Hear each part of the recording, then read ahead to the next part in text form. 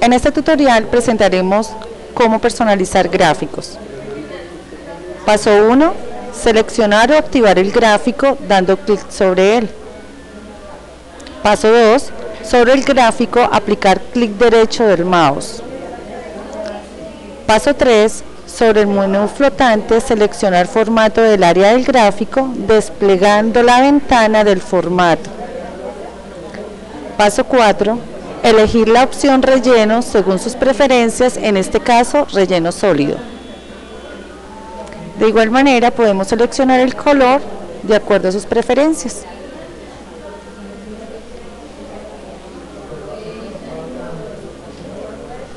Dando cerrar. Ay, eso no me lo había dicho. No. Se va. Bueno, escuchémoslo.